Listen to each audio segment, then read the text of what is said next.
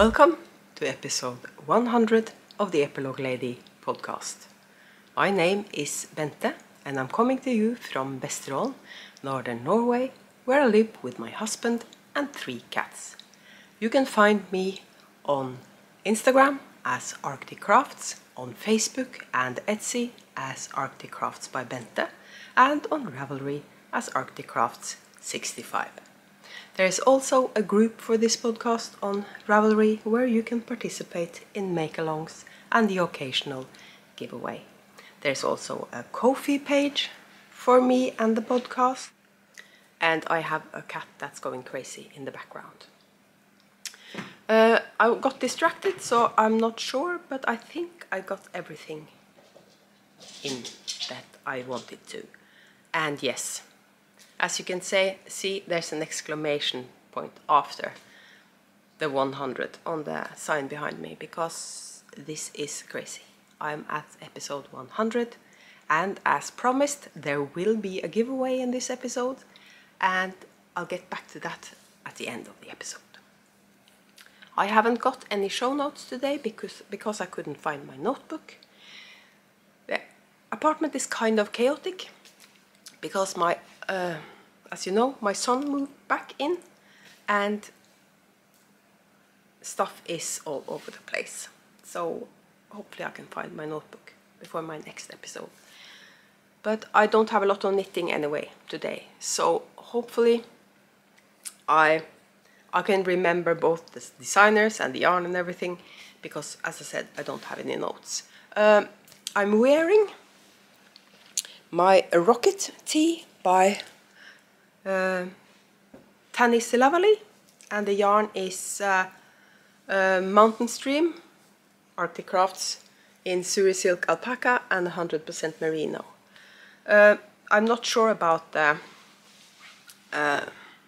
what the picture looks like and everything because this is my first podcast that I'm recording on my new camera. It's much easier to set up because it's just a tripod with a camera on top. But I can fix a lot of this in edit. Um, we can start by uh, the winners for the tea time make along or the tea time mouth has been drawn and they have get, gotten back to me and I haven't uh, uh, mailed the prices yet because shipping international shipping is expensive and I want to coordinate a bit so I send it want to send it with orders. And I have one order that's going out in the middle of June. So I want to ship everything at once. I hope you can forgive me. I don't do this with orders but with prices I feel it's not the same rush to get it out the door. And the two and I'm not I can't show you the prices while I'm announcing the winners because this is poor planning on my part. Uh, the price bin is in the in my uh, son's bedroom. That's not his the spare bedroom anymore, it's my son's bedroom. And I don't want to wake him up because I'm recording and it would be nice if he doesn't I don't wake him up until after I'm done recording. But I'm going to take pictures and put them in when I edit. The first uh, prize was two skeins of Arctic Crafts, 100% uh, mer merino fingering and there's not a lot of yarn left over and I completely didn't I didn't think of this when I started the clearance sale. There's still yarn left in the shop but not two skeins of the same color I think. Not in merino fingering um, so I'm sending you two skeins of snowbuds and the winner is Breve 66 the bag from Tangled Stitch with a matching notion pouch goes to Strixie and there is a skein of yarn from Mother About Wool. That's for Emecol, L-M-E-C-O-L-L that's just the Ravelry names I'm telling you now. And I had sorry, two pattern prices. One went to um, uh, Lacewing on header, that was for Ravelry, and on the pattern price on Instagram went to uh, Ine. And I was looking at the viewfinder, I'm so sorry. I have to get used to this, probably. Uh, there is also, um, I'm not starting over again just because my eyes went to the viewfinder. As I said, I have to get used to looking at the lens. Um, there's a new MAL started uh, June 1st, and that's the Arctic Summer of Socks. And the rules are the same as uh, last year and the year before that. Any pair of adult size socks. Uh, larger children's socks are okay, but toddlers and baby socks, sorry. Um,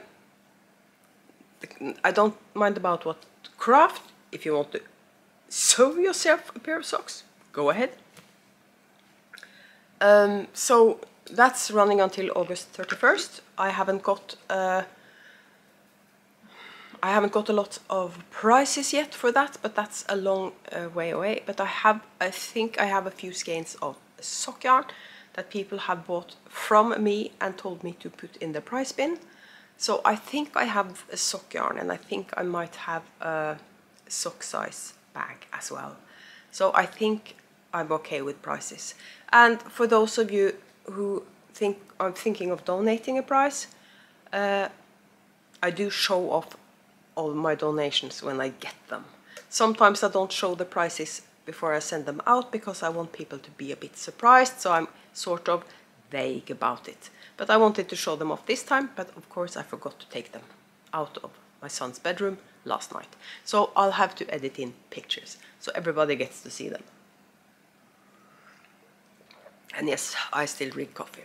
Uh, my son doesn't drink coffee, so uh, I get my morning coffee to myself. Um, today is hubby's birthday, uh, and we are going to a sushi place in the neighboring town to celebrate. We were planning on going to the new hotel in town because they have a fancy restaurant and we wanted to try that restaurant out. But this weekend they are having a seafood special, so they're only having seafood and fish on the menu, except for one steak and one burger dish. And there wasn't a lot of selection because hubby doesn't eat seafood, so we decided, okay, we'll go to the sushi place because both me and my son love sushi and hubby thinks their teriyaki is really good, so we're going there instead. And as usual, his Fridays are short. He comes home early on Fridays, so I'd better get so I I better get this recording done so I don't keep my son from his Zelda game, and that I'm done recording before hubby gets home. I'm not sure I'll be done editing though. Uh, I don't, as I said, I don't have a lot of knitting to show you. Uh, one of the reasons I'm checking the viewfinder all the time, by the way, is last time I recorded a podcast with this camera, it stopped on me because it overheated. Hopefully that doesn't happen this time because it's now on a tripod, it's not uh, put on top of something else. So hopefully there's more air circulating around the camera this time. We'll find out. Worst case scenario, I have to take a break and keep recording later. Uh, so I've been I talked about what I'm wearing.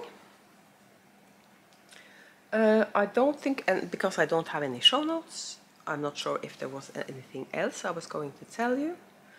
I've announced the winners and I've talked about the new MAL, so I'll show you uh, my knitting. I'm going to call this my prairie cardigan because it's got a French name and it's in a bag that Crafty Knitter 7, my bestie Sue in Canada sent me and I love it. It's from Comfy Cozy Knits. And I'm almost ready to start under the arms. And it's kind of difficult to see the pattern I try to hold it up close. and it turned out that I enjoyed this looks very fiddly but obviously I enjoyed the pattern so much that I knit almost three inches too far down the back. Uh, so I had to uh, I ended up frogging until the uh, I was I'm knitting the second size but I frogged until I reached the third size in length. And then I uh, because I had the width for size 2 but I decided I'm going to have loads of yarn left anyway so I have more than enough yarn so I decided to make it a little bit longer and I didn't want the frog anymore so that's basically the reason and it turned out that and I adjusted it so that I'm going to start with the third color when I put it together. I figured that was a nice way to do it. So, uh, as I said, I'm this far on the front and then I'm finished with both the back and both fronts and I can put it, start knitting it in the round or not in the round, it's a cardigan. But you know what I mean. Uh, so the next color I'm putting in, it's this color, that's my third color. And the yarns I'm using, I can tell you the yarns I have been using, I'll just let you know what they are as I knit them in. The top one is from Garnbutikken Fortuna and it's called Gull, my favorite Norwegian dyer. The next color is uh, Tonight I Bake by Chromatic Yarns and it's from her Knitical Roll Yarn Club. It's inspired by Lord Esteros from Hellspells campaign 3. So that's one project. Uh, the other project is a sock project and it's in this bag. I think this was the first I think this was the first project bag I bought on Etsy.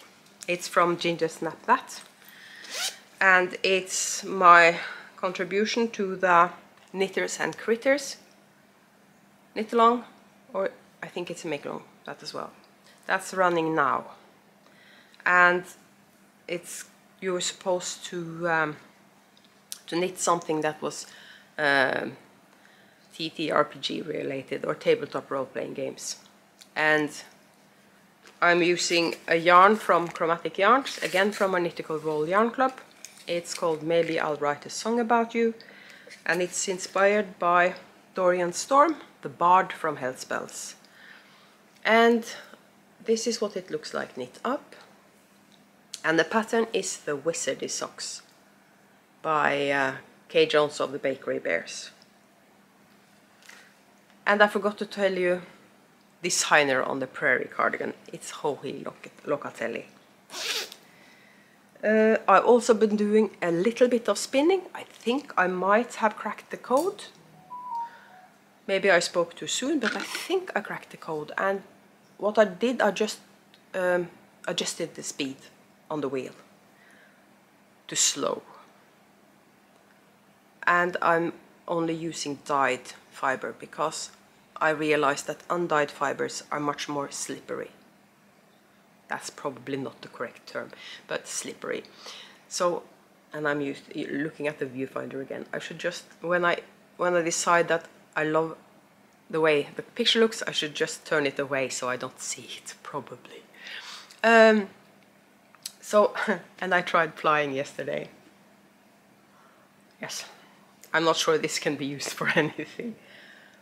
Um, and this is what I had left over as singles. But I think, as I said, I've cracked the code. So, because that what's on the bobbin now looks much better. Uh, I ordered two more bobbins because I realized that if I was going to keep experimenting and not ply, I was going to run out of bobbins real fast because I have to have one clear bobbin to ply on and I can feel that this sweater is a bit too warm so I'll just have to take a little break and put the air conditioning on hopefully that's not too loud because I couldn't keep on recording wearing this. Uh, if I didn't put the air conditioning on. Because it's not really warm outside, but the sun is shining, that makes it really hot inside. And we haven't had the best weather this spring. We actually had snow June 1st. Nice, I know. It snowed June 1st. That's, um, that's late even for us. Of course it didn't stay on the ground because it's, it was June 1st. But anyway, you don't want snow on June 1st. We're supposed to have warmer weather, really nice weather this weekend, and that's really good because our garden needs a bit of TLC. I haven't been able to do the spring cleaning yet because of the weather. So I'm doing uh, some uh, garden work, yard work this weekend and um, both hubby and my son is going to help so hopefully we'll get everything done. And we have an outside uh, in Norway we call it a bod. It's like something of a, a shed that's attached to the house. It's for storage and it's not insulated like the rest of the house. So it's you can't put in everything in there. You have to sort of think of what you're putting in there. And I'm going to empty out the entire thing and sort through it and probably half of it can be donated because there are boxes in there that I haven't even opened since I moved in here in 2011. So um, I think um, a lot of it can be donated so that um, we can fit a lot of my son's stuff in there uh, because uh, some of his stuff he's not going to unpack while he's staying with us because he's not going to unpack it until he finds his own place. So that was uh, that was Meglungs knitting, a little bit of knitting. I'm I'm starting a project I'm knitting a yet another ranunculus, this time in some line from Sandnes, that's a cotton linen blend. And I wanted to knit a summer ranunculus. This is a heavier weight yarn, I think it's, I think they, you can define it as a DK. So it's going to be um, a thicker ranunculus, but I wanted something that wasn't see-through and cotton that I can wear in summer. Uh, and I know I can knit a ranunculus in a weekend, so there's no rush in starting it. I wanted to do the prairie cardigan first, but I think I might cast on the ranunculus because I'm going away in September. And maybe I, and I'm staying with my Norwegian bestie, Trina, and she has a wool allergy, so I can't take any knitting there that's wool. So if I delayed, postponed my ranunculus until September, I can have that as my project while I'm visiting her. So probably I'll just do dishcloths and then leave all the dishcloths with her when I go home. We'll see. That was also a tangent. Um, I should just go into show and tell. I could, we can do the giveaway first. Yeah, I've been waiting for this, right? Uh, so this is my hundredth. Checking the viewfinder again. This is hopeless. I'm just looking at, uh, see if I'm still recording, but there's a red light on the camera, so I don't have to check the viewfinder. Bear with me, I'm going to get used to this camera eventually. Uh, so, uh, my 100th episode, and there's going to be a giveaway and the giveaway is this. It's a tote bag from House of Yarn with this goodie bag in. It's just loads of different yarns from the local yarn store. Some of it's Norwegian, some of it's Danish, loads of different colors And that's the price for my 100 episode giveaway. I'll add an Arctic Crafts stitch marker as well before I send it out. And this is going to be a YouTube giveaway. And the prompt is what's your plans for the summer? Are you going to have a staycation like us? Or are you going on going traveling somewhere? You can also just, just tell me what you're knitting this summer. What's your dream knitting? What's your summer project? You can choose between those if you feel it's too personal to tell people what you're doing this summer. So uh, just write that in the comments down below. You have to be subscribed to the channel, of course. And I'll just do uh, a YouTube uh, prize draw before my next episode, so you have two weeks to participate in the giveaway. So that's that's out of the way. Good luck and I hope loads of you get into that. Um, the next thing I want to show you is something that arrived was it yesterday? I think it was yesterday. See, I'm the days just go float into one here. But I think it was yesterday. Sue will know, but I think she's just as she has the same brain fog I do, so I'm not sure she would know either. But she made me this custom tote bag. And this bag of holding. I really love this one. I think this is going to be my new shopping bag, to be honest with you. And there were loads of stationery and things in here. And that's not too interesting for you. Uh, she always sends me tons of stationery, notepads and pencils and everything. But she also sent me some yarn that she bought Knit City, Montreal. And this one I knew about because uh, she told me to look at the vendors for Knit City Montreal and pick out a vendor that I wanted yarn from. And I went to Alley Cat Yarns and I saw this colorway and I particularly loved this colorway. And uh, Sue checked and she had one skein left. So Sue got me that and she picked it up at Knit City Montreal. And there's this really cute set of stitch markers. So that Alley Cat Yarns. And what's the colorway? There's no colorway name on this. So it could be a one of a kind, of course. Because it doesn't say anything about the colorway on the on the band. But I really love this color.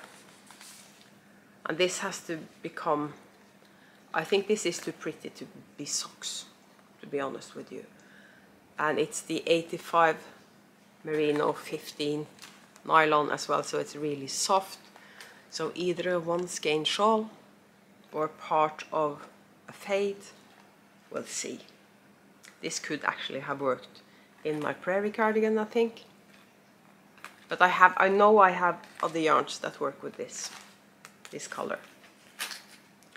So, and the surprise was this one. And it's a self-striping from Biscotte Yarns. And the colorway name is... It doesn't say. Uh, it says Purple Rain, it's called. This is called Purple Rain. And it's got all my colors. Purples and different color of pinks. So this is going to be a pair of socks and they're going to be for me and the next pair of self-striping I'm going to cast on are going to be uh, looking at the viewfinder again. Oh, I shouldn't keep on commenting on that. I should just... I'm sorry. Uh, so uh, the next pair of self-striping I'm casting on is going to be uh, a heel-toe do-si-do, I think, because I love that pattern and it's a fun way of knitting self-striping. I don't. I have a couple of pairs of self-striping socks on the needles, but I can't change the pattern midway. I could finish some pairs of socks before I cast on a new pair of socks. I think I have three or four different pairs of socks on the needles. Not including the stone knits patterned socks I'm also knitting on. But I could, I, socks are a really good travel project. But again, I'm not going anywhere this summer. This summer is going to be a staycation, even though I have an income now.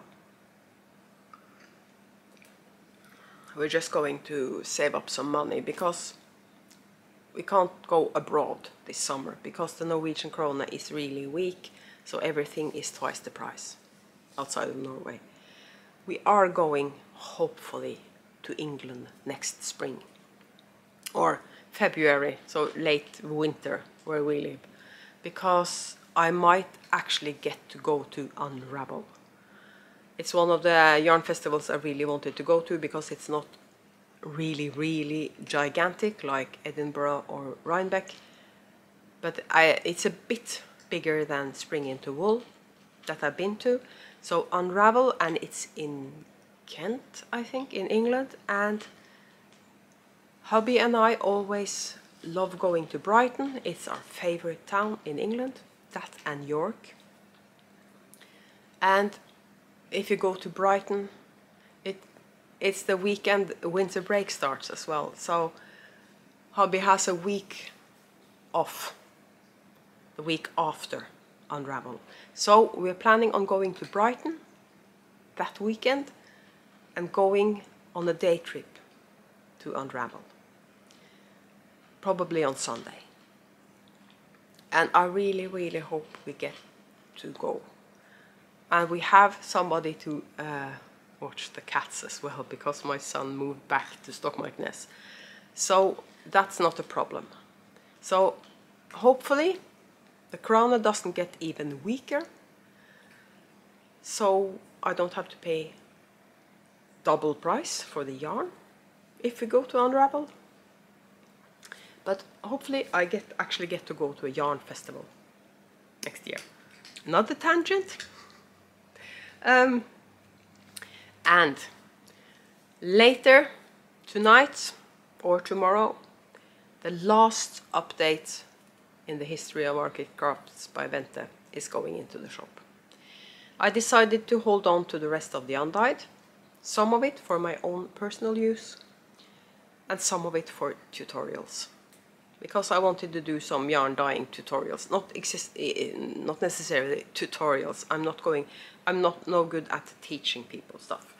But so that you can see how I dye different colorways. And I'm going to dye up myself a sweater quantity on sparkle. I know I want a sparkling sweater.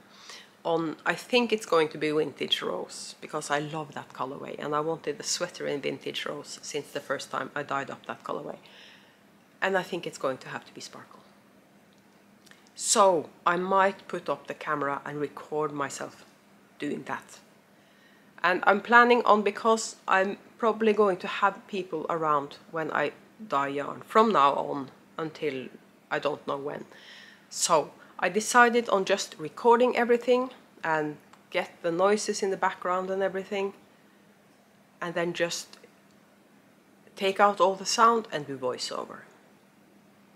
Because it's easier for me to just hide away somewhere else while I do the voiceover than uh, kicking everybody out while I'm dyeing the yarn.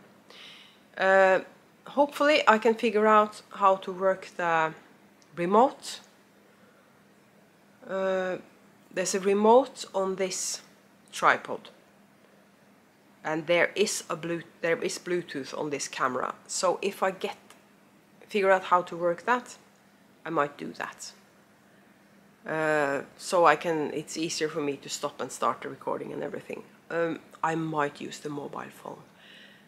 We'll figure that out as we go. But the big um, plan with this camera, spending all that money on this more advanced camera, is so that I can use it for my vlogging and podcasts and everything because it's so much easier just putting this camera up on a tripod. I don't have to have all the setup with the microphone and my computer and everything. I just put the camera on the tripod and start talking. And as soon as I get out of the habit of checking the viewfinder, everything is going to be perfect. Uh, because when I record on the computer and use the webcam, the webcam is on top of the screen. So there's not possible to tell the difference if I'm watching, looking into the camera or if I'm looking on the screen. Here it's real easy because the viewfinder is on this side of the lens. So as soon as I turn my eyes and look at that, you can tell. And thank goodness I bought a multi-purpose tripod because this time I ran out of power. The batteries on the camera, I mean. So instead of waiting for that to charge and keep going because I'm sort of on a time crunch here. So I'm finishing off the podcast on my mobile phone. Oh, I, I'm wondering if, the, if I can get a battery pack for that camera that's got a longer or I could just charge it, top charge it before I record my next podcast. I could, for traveling, I could get a proper power bank, of course, that I can charge it from. We'll see. Anyways, I ran out of power. It shut down and I thought, okay, so now it's overheating again. But no, it said the battery is empty this is so this is so much fun and so professional. But you know me by now. I'm not professional. And and i have a cable attached to the mobile phone as i'm recording this and that's why it's sort of unsteady because i of course was almost uh, my mobile phone almost was almost out of power as well. So now that i'm going to be more or less only a YouTuber and podcaster. I should try to become more professional. Maybe I should do some classes. Is there, are there any classes for making, becoming more professional? I think it's, it's a, I'm at episode 100. I should have get, gotten, gotten the hang of this by now. Anyways I didn't have a lot of more stuff to talk about anyways. Um, I don't think I have forgotten anything. I mentioned the Arctic Summer of Socks. Any pair of socks as long as it's adult size or larger children sizes we could say from European size 35 upwards. Any craft? And you can enter as many pairs of socks as you want Double dipping is okay. There are loads of sock knit-alongs in summer. You can double dip if you want to. It's, I'm not not exclusive. There's and the prices will mostly contain uh, sock yarn. Maybe some commercial sock yarn, some hand-dyed sock yarn, uh, and it's running until August 31st and if I decide to include commercial sock yarn in the prices there will be four or five prices I guess. Because I have loads of commercial sock yarn in stash. And I wanted to destash anyway. Um, Ko-fi has a shop option. You can put up things for sale on Ko-fi. And I'll let you know when I do so. But I'm going to put make put myself make myself a little shop on Ko-fi. Not to sell my own hand-dyed yarn but to destash yarn and bags and to sell hand knits. I've tried to put up sweaters for sale on Instagram. No one was interested or no, not every, I think it's better to do it in a shop online and I'll just link to the Ko-fi and there's a link to my Ko-fi page on Instagram. So I think that's the best way of doing it. And I think if you at least if you subscribe on Ko-fi, you get uh, not notified when I put something up on Ko-fi, I think. Anyways, there will be there's a link to my Ko-fi page on Instagram and I'm going to tell you of course when I decide to make a shop on there. So I'm going to stop rambling now and stop recording so that my son can get in here if he wants to. And I'll see you in two weeks, probably not sooner. Uh, if I'm doing a summer vlog on here, I'm going to start that when the summer holiday starts in Norway or the school holidays start, and that's towards the end of this month. So maybe my next podcast will be the last regular podcast before the summer holidays. So now I'm going to stop and finish my coffee and edit this. So I'll see you later. Bye bye.